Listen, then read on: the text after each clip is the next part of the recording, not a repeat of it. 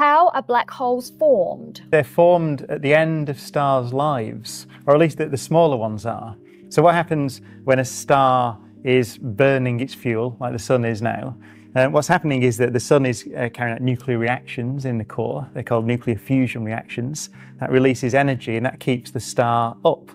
But the star is burning a lot of fuel. The sun is burning 500 or 600 million tons of fuel every second. Hydrogen fuel, converting it into helium. So that can't go on forever. In the sun's case, it'll last for about another four or five billion years. When it runs out of fuel, then gravity will take over and the star will start to collapse.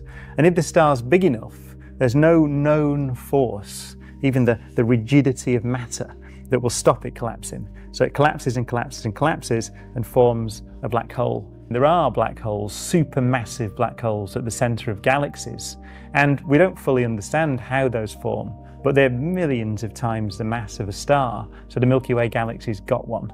How they form and how galaxies formed in the early universes is a piece of research that's going on now. So if you remember those amazing, the Gargantua, the, the black hole in Interstellar, that's, that's a simulation.